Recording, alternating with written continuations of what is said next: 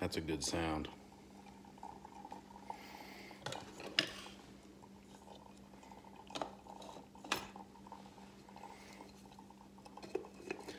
I've been getting a lot of uh, calls and messages. Had some FaceTime chats.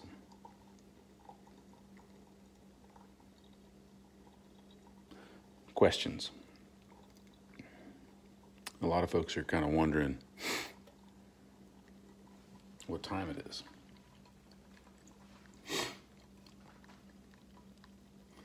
You know, the Bible says it's time to awake, O sleeper, and Christ will shine on you.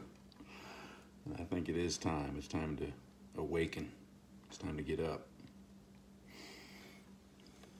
This is kind of how I start my day every day. Drinking some coffee and getting into the Word. I think it's definitely time to get into the Word. But really, the question that people ask me has more to do with what is the uh, the time frame. What what is the time according to the prophetic timeline? What time is it? Well, you guys have heard me say this before. I, I believe we are living in the end times. Now, without sounding too crazy, what I want to say is let's let's get into the Word and see what the Word has to say about the end times. This is a fast coffee maker, but uh, sometimes it just doesn't seem quite fast enough.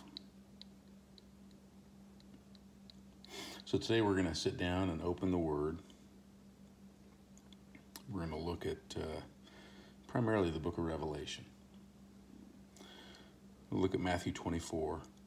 Might look into Daniel but primarily the book of Revelation. Because I think it's important to think about what time it really is.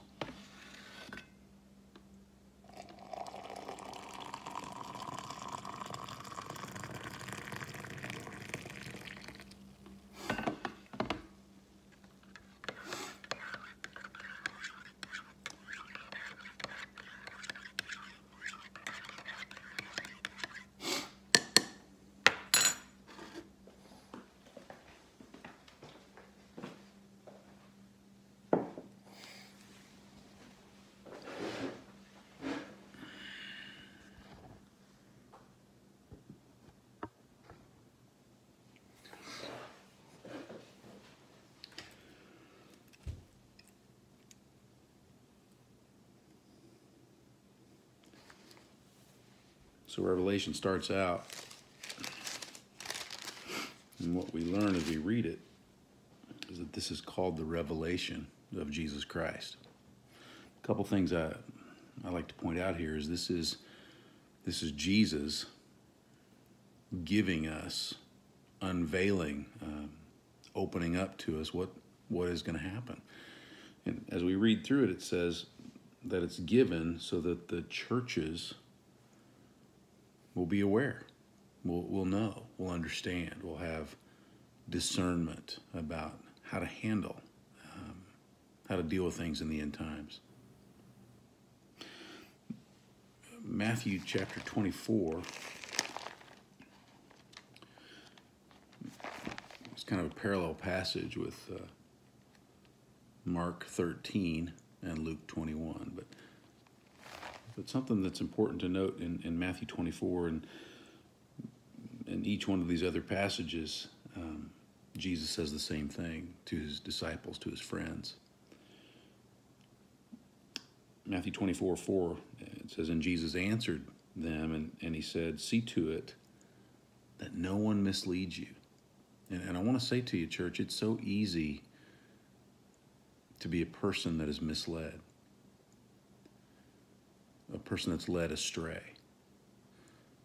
Unless you're a person that stays, number one, in intimate relationship with Jesus. Number two, a person that stays in the Word. You're in the Word, you're familiar with what the Word says. You're so familiar with the word that when something that is not of the word is said, man, the red flags go up. So, number one, in relationship with Jesus. Number two, in the word. And number three, you're in relationship with other believers. You're talking to other believers. you're in fellowship with other believers. You're discussing things with other believers. You're bouncing ideas off of other believers. You're talking about prayers that you're praying or things that you've read or things that the Lord is putting on your heart. Those three things are so key relationship with Jesus, relationship with the Word, and, and relationship with others. now, a big part of that also is going to be walking in the Spirit. You know, the Bible says if we walk in the Spirit, we will not carry out the deeds of the flesh.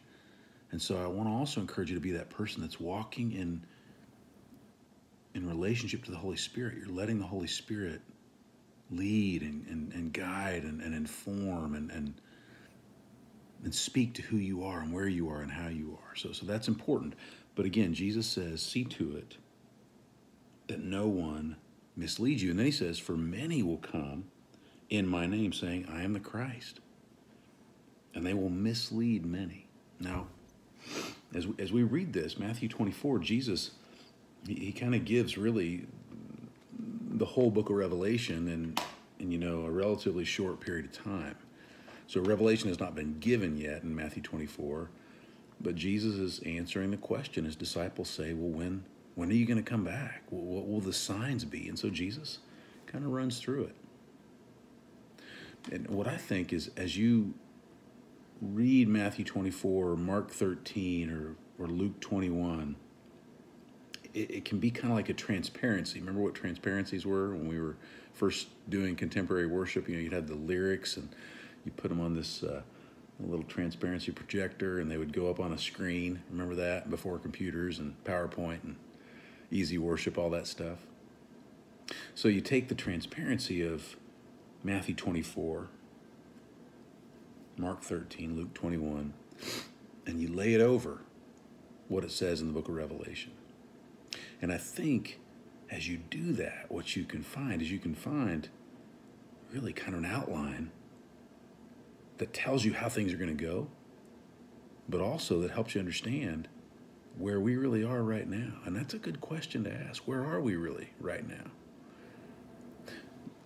And so we're going to kind of flip back and forth a little bit here. But I believe, and, and you know, a lot of people are going to probably disagree with this. A lot of theological and biblical experts are going to disagree with this, but but let me say to, to, to that, I want you to pay attention to that idea that the experts are probably going to disagree. You see, it was the experts that missed the first arrival of the Messiah. The Bible said where it was going to be, when it was going to be, how it was going to happen, pretty much. And the experts missed it. the Bible even said when the Messiah was going to roll into Jerusalem on what we call the triumphal entry. But again, the experts missed it. And so I want to say, you know, the, the Word of God was not written, and please understand as I say this, this, it was not written, it was not given under the inspiration of the Holy Spirit for experts. It wasn't, it wasn't given for seminary professors and THDs and all these educated 100 pound brain people. The Holy Spirit moved people of God and inspired, and they wrote. But many of these folks that wrote, they were simple folks. In the New Testament context, John, for instance, he was a fisherman. Peter, for instance, he was a fisherman. Blue collar guys. And the Holy Spirit moved and wrote through them to us. and by God's design, you don't have to be an expert to understand Scripture. All you have to do is get into it. Get into it and be in relationship with Jesus and be in relationship with others and listen to the leading of the Holy Spirit. And it makes sense. It makes sense. So, so in Matthew 24, Jesus gives this basic timeline. He says some really interesting things um, about what to look for. And, and again, people keep asking me, what time is it? What time is it prophetically? You know, for for most of my ministry, and I got to have some coffee. Hold on. For most of my ministry, whenever I've wrestled with that question, I thought to myself, I think that we are in the stage of the beginning of birth pangs. Now, why would I say that? Because here's what Jesus says in Matthew 24 See to it that no one misleads you, for many will come in my name, saying, I am the Christ, and will mislead many and you'll be hearing of wars and rumors of wars. See that you are not frightened, for those things must take place, but that is not yet the end. For nation will rise against nation, and kingdom against kingdom, and in various places there will be famines and earthquakes. And then in verse 8 it says, But all these things are merely the beginning of birth pangs. Now, now there's a, a stop there and then in verse 9, then it says, Then they will deliver you to tribulation and will kill you, and you will be hated by all nations on account of my name. Now, I want to pause there and think about that. What would, what would create the hating of people because of the name of Jesus? What would create that scenario? I've, I've never really been able to answer that. I, I know there's always been a little angst from the world against Christians or when when we as believers stand up for for what we think and what we believe and what we know to be true of scripture that can create a lot of angst. But what would create a global hating of Christians? When it says you will be hated by all nations on account of my name what what would bring that about and by the way, that follows the beginning of birth pangs. And so, again, I've always felt like we were in the beginning of birth pangs. Why? Because that's what Jesus said. But then there's a transition. And, and what is that transition? Well, from famines and earthquakes, kingdom against kingdom, and wars and rumors of wars, then right into they will deliver you to tribulation, and they will kill you, and you will be hated by all nations on account of my name. And then it says, and at that time many will fall away, and they will deliver up one another, and they will hate one another. What would bring that about? And again, what time is it? Where are we really? Well, let's gonna let's flip over to uh, the book of Revelation. Revelation chapter one is just kind of an introduction where you know we find John setting the stage um, for how he receives this and why he's writing and, and and who is speaking to him, and then then we get into Revelation and. And the end of chapter one, we start seeing, if you have a red letter edition, you, you start seeing some letters some words in red, and what that means is these are the words of Christ. So John is receiving a revelation from Jesus, and he's writing it down. He's quoting Jesus, if you will. And, and then we see letters to churches. Uh, there's seven letters, and theologically speaking, it's we call it a chiasm, and, and there's no time here for that today. But we have a, a message to Ephesus, and we have a message to Smyrna, and a message to Pergamum and then we have a message to Thyatira and to Sardis and to Philadelphia and to Laodicea. And then once we get past these messages to the churches, and again, these are not just messages to churches then, these are messages to the church, to churches everywhere. And, and you can still see church types, denominational understandings, and theological orientations described right here in these seven letters uh, of Revelation, pretty much two through three. But then we get into Revelation 4, and John begins to describe to us things that he is seeing. And, and one of the phrases that goes on throughout the book of Revelation is, is this phrase, after these things. And so what, what we know is, is that what that means is John is telling us that there's a there's a progression. So there's this, and then after these things, and then there's this. He describes what he's seeing and what is to come, and then then he says after these things. So it gives us a timeline to follow. And and so we see chapter four where he is uh, at the throne of God and he's receiving and seeing and recording. And then we get to chapter five and we begin to get a description of uh, of a sealed book, if you will, a, a book with seals. And and John realizes there's nobody there's nobody that's that's good enough to open up this book. No, nobody can do it. Except for Jesus the lamb who was slain from before the foundation of the world. Jesus is able to break the seals and open the book. And, and I want to emphasize what I just said. Jesus is able to break the seals. Again, the question is, where are we? Well, again, a lot of people probably going to disagree with this. But I believe right now we are in the seals. In fact, I, I believe that my lifetime, let me say this, I, I believe the seals, as, as we get into the, the description of what the seals are, and, and seals were like, um, were like uh, wax, um, adhered wax to a scroll. And, and, and this describes a scroll or a book, and it's sealed together with seven seals. And so you have to break the seals in order to open the scroll. All right, so Jesus is the one that can break the seals. So here's what I think I believe that the 20th century, and I know we're in the 21st century now, but I believe the 20th century was that century that we see described in Revelation chapter 6 where we talk about the first the first seal.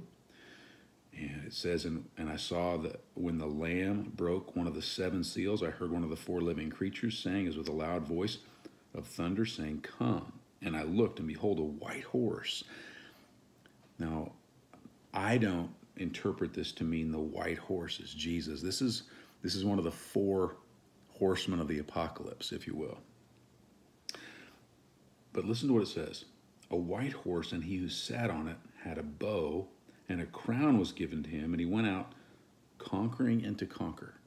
Now, there's a lot more I could describe here and, and try to explain, but I believe that this is the first half of the 20th century.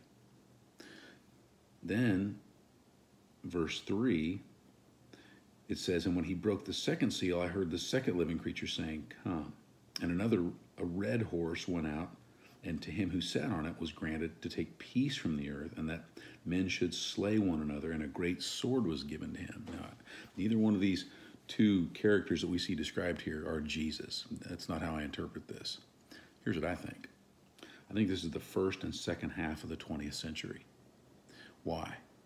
Because it describes conquering and wars and a lot of killing. That men should slay one another with a sword. The 20th century, and I'm reading a book right now, and, and I love reading non, you know, Christian books uh, that uh, say exactly what the Bible says. I'm reading a, a non-Christian book right now that's talking about uh, the bloodiness of the 20th century. It's the bloodiest century in the history of man. Nation rose against nation and kingdom against kingdom, and there were wars and famines and earthquakes and I could explain a lot more about that, but let me just leave it at this. I believe the 20th century is the first seal and the second seal. And then when we get to the third seal, it starts talking about economic things. And, and, and it says, and when, when he broke the third seal, I heard the third living creature, and by the way, the third living creature has the face of a man. I, I believe this is a reflection of the spirit of Babylon, if you will, the, the, the spirit of man's ability to do the best that man can do. And, and and the economic lure of uh, wealth and and uh, the lure of the love of money and things. And, and in fact as, as this comes to an end it, it starts talking about things like the value of wheat uh, or barley. And and then it says and do not harm the oil and the wine. This is setting up i think a picture of of capitalism and the contrast against things like communism. But I think it's a picture of the best that man can do economically and the results of that. Okay? So, again, here, here's the first, second, and third seal. This is a transition. I believe this is a, a picture of, of what, what we've seen happen, let's say, in the late 90s and, and, and then on into the first part of the 21st century. And then we get to the fourth seal. And, and I want you to listen uh, to what it says. The fourth seal. And this is this is a living creature that speaks, and, and the fourth living creature is an eagle, has the face of an eagle. And it says, And when he broke the fourth seal, I heard the voice of the fourth living creature saying, Come. And I looked, and behold, an ashen horse, or a sickly, pale horse. And he who sat upon it had the name Death and Hades was following with him, and authority was given to them, death and Hades, over a fourth of the earth. I want you to think about that for a moment. Authority was given to them over a fourth of the earth. Now, if we read that and we think about what it says, that's a lot of people. Now, now listen to what it says and authority was given to them over a fourth of the earth to kill with the sword and with famine and with pestilence or disease and by the wild beasts of the earth. Did you hear that? Famine, pestilence, and by the wild beasts of the earth and to kill with the sword. So, so one thing, one of the things that we see continuing here is we see war and conquering and conflict. Then we see the, the economic aspect and, and, and how that leads to even more war and famine and conflict. But here's what it says with pestilence and by the wild beasts of the earth. There's authority over a fourth of the earth. Now think about one fourth. Is this telling us that there's going to be the loss of one fourth of the world's population? Is that what this is saying? What are we at? 7.9 billion people right now? So roughly a fourth of that is 2 billion people are going to die as this fourth seal is broken. Now, these, these cover periods of time. Now, now, again, I believe that the first seal and the second seal, that's, that's the 20th century. And I believe that the third seal, the things that I know from the news, the things that I know from history, I believe that third seal is, is the end of the 20th and the beginning of the 21st century. And what we see as this progression moves forward is it gets closer and closer together. It goes faster and faster and faster. And when we get past the seals, it's going to go super fast. In fact, we're given a time frame of seven years before, at a certain point, then, then seven years. So there's a lot that's going to happen in a seven year period. But again, I want to back up here. I want to think with you. Pestilence or disease, and by the wild beasts of the earth. I'm reading another book right now. It's uh, it's about illnesses that viruses that jump from one species to the next. It's interesting this deal that we're dealing with right now is a virus that jumped from one species to ours. There's a lot of viruses like that, actually. A lot of very scary viruses that's been going on for quite a while, but more and more. Things like Ebola, SARS.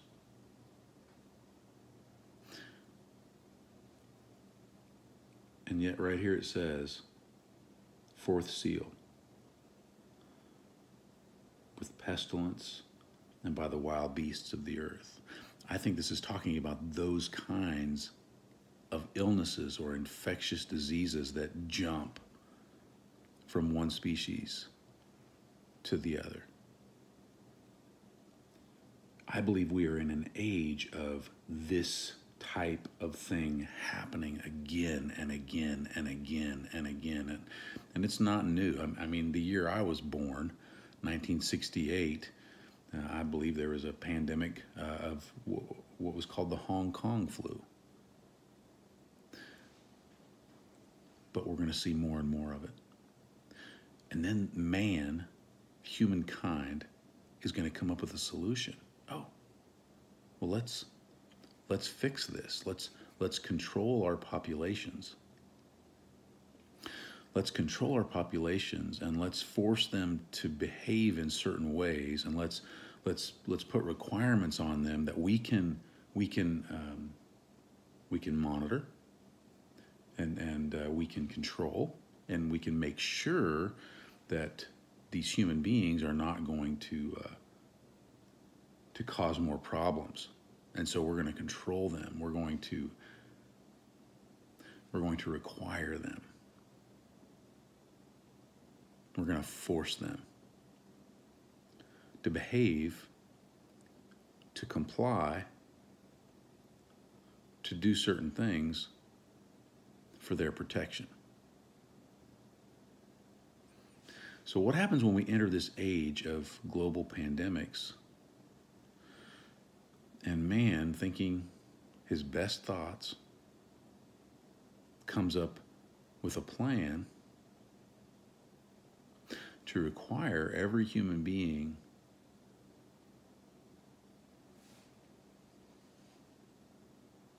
in order to keep them all safe. To receive a number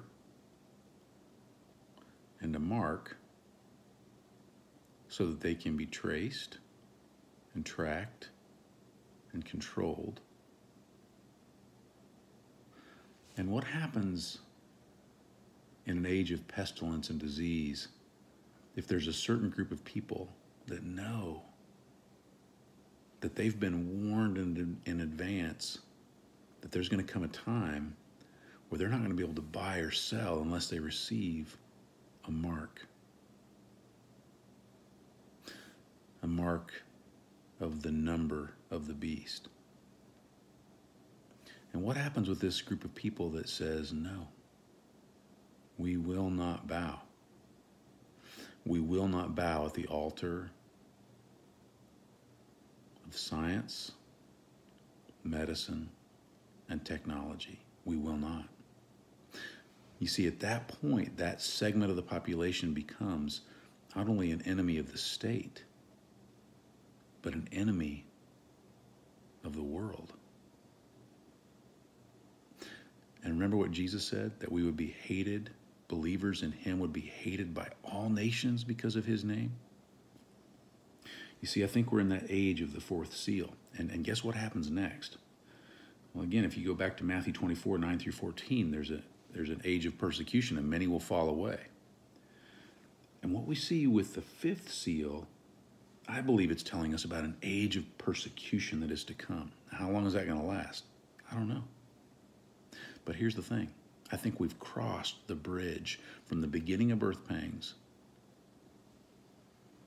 to the next thing persecution, being, being delivered over to tribulation. Again, not the great tribulation, but a time of tribulation that's going to lead to the great tribulation, a time of persecution. Revelation chapter 6, Then it says, and when he broke the fifth seal, oh, let me back up just real quick. And by the way, at the end of uh, verse 8, it talks about pestilence and by the wild beasts of the earth men will die. I'm reading another interesting book. Again, not a Christian book. This is a outdoor author who, who's writing about the increase in human and wild animal interactions that result in attack. That death from wild beasts of the field and attacks from wild beasts of the field is on the rise. And it has been for some time. Interesting. The Bible says it right here that men are going to die from disease and from the wild beasts of the earth. And that this time of pestilence and disease is also going to be marked by people killing one another with the sword or with war and with famines. Have you paid attention to the news lately? Processing plants being shut down. Farmers literally having to torch their crops because there's no place for them to sell their food. And now the news is talking about a global food shortage. Here's the word right here famine. What's next? Well, I don't know, but I know what the Bible says. And here's what the Bible says The Bible says, And when he broke the fifth seal, I saw underneath the altar the souls of those who had been slain because of the word of God and because of the testimony which they had maintained. You see, this is leading us into a time of persecution where Christians will be killed because of the Word of God and because of the testimony which they maintain. And then those very believers who have laid their life down throughout history and in this time cry out, How long, O Lord, holy and true, wilt thou refrain from judging and avenging our blood on those who dwell in the earth? Verse 11 and there was given to each one of them a white robe, and they were told that they should rest for a little while longer until the number of their fellow servants and their brethren who were to be killed, even as they had been, should be completed also. So we're going to go from a, a time of pestilence and disease and death by the wild beasts of the earth and, and, and war and famine. We're going to enter into a season of persecution where believers will be judged and tried. And in fact, if you go back to Matthew 24, it says in verse 10, and at that time, many will fall away and will deliver up one another and hate one another. That means they're going to be turning one another in. And at that time, many false prophets will arise and will mislead many. And because lawlessness is increased, most people's love will grow cold. You see, now this is describing a societal structural breakdown. That means things like government and order that we have created is going to be dismantled. There's going to be a lot of anarchy and a lot of craziness, and it's going to be a stage that is now set for a world leader, for a world association to step in and say, hey, we can fix this. Trust us. We're the government. That's what's coming.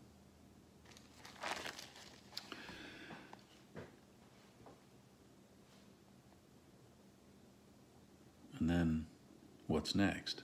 So we have the fourth seal, pestilence and famine and war and disease and the wild beasts of the earth. And then we have the fifth seal, persecution and death.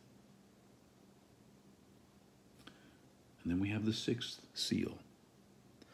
And again, this is going to progress. This is going to get more and more rapid. The sixth seal is cataclysm. And now let me let me look at this with you. And I looked, and when he broke the sixth seal, there was a great earthquake. A massive earthquake. And I think this is indicating all around the world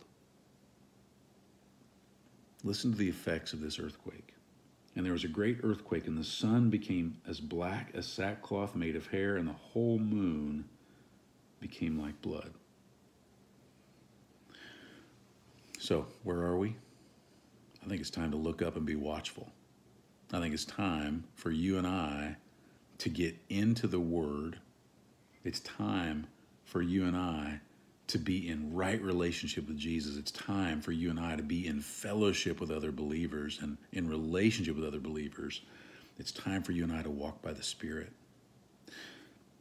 But I also believe that we have crossed the bridge from the beginning of birth pangs into the time of the fourth seal, a time of pestilence and disease and, and of man coming up with a solution. And, and again, the thoughts of man. I don't know about you guys, but my best thoughts apart from God have always led to the worst case scenarios. And from there, we get into persecution. And from persecution, it flows into cataclysm, the sixth seal. And then it's going to go very fast, very fast. What time is it? It's time to awake, O sleeper that Christ may shine on you. It's time for us to be people who get into the Word and allow the Word to get into us. It's time to look up and be watchful, knowing that our redemption draweth nigh. You know, one more thing I want to say, and this is really going to probably tick a lot of people off. As we read these things, there's some crazy stuff. If, if I'm right, there's some crazy stuff that we're going to go through, that we're going to see. Now, I believe in a rapture, I do. But I'm not sure that I see a pre tribulation rapture as I read Scripture. At the very least, the church, believers in Jesus, are going to be here through some some of this difficult time. And here's what concerns me especially when you read in Matthew chapter 24. It says, Then they will deliver you up to tribulation, and they will kill you, and you will be hated by all nations on account of my name. And at that time, many will fall away. You see, my concern, church, is that we have been so indoctrinated with theology that assures a pre tribulation rapture in fact, I, there's a TV preacher, man. He, he, he almost seems to suggest that if you believe, if you don't believe in a pre-tribulation rapture, that you're going to go through these things. Like, like God's going to do that. He's going to, no. If there's a pre-tribulation rapture, Jesus is going to take us all with him if we trust him. But if there's not a pre tribulation rapture, here's what we've got to understand Jesus is going to be with us as we go through whatever we go through.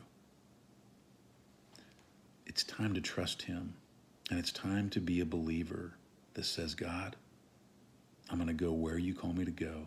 I'm going to do what you call me to do. I'm going to be who you call me to be. I'm going to say what you call me to say, no matter what. And as for me and my house, no matter what, I want to be that man of God that doesn't fall away. That doesn't fall away. What about you? Who do you want to be? What do you want to see God do in you and through you? It's time, church, for us to step in to who God has made us to be. Remember what Jesus said his job description was in Luke 19:10. He said for the son of man has come to seek and to save that which is lost. It's time for you and I to fulfill that job description that Jesus said was his. Why? Because we are the body of Christ. And the body of Christ is not a dead body, it's a living body and we have been selected by God for such a time as this. I want you to think about that. If these things that I've described to you from Matthew 24 and, and also from Revelation chapter 6, if they're true and they're now, the reality is, is God has chosen you to be on his team at this critical moment in the history of humanity. You're on his team. Not only are you on his team, but you're a starter on his team. I think it's time for you and I to get off the bench and get into the game. Don't be anxious. Don't be worried. Don't be fearful. Just trust. Again, get into right relationship with Jesus. Get into the Word. Stay in fellowship. Walk by the Spirit. And know that what Jesus said in the Great Commission, where he said, Lo, I'm with you always, even unto the end of the age. You see, right now we have a time to trust him and to lean on him and to rely on him and to call on him. Why? Because he is with us. He's with us. Now, again, this thing that we're facing right now, it's going to pass, but there's going to be another one, another pandemic, and there's going to be precautions put in place to make sure that, oh, that this doesn't happen again. But it's going to continue to happen. Then we're going to come into a season of persecution. Then we're going to come into a season of cataclysm. And if you want to read some stuff that's really interesting, read the rest of the book of Revelation.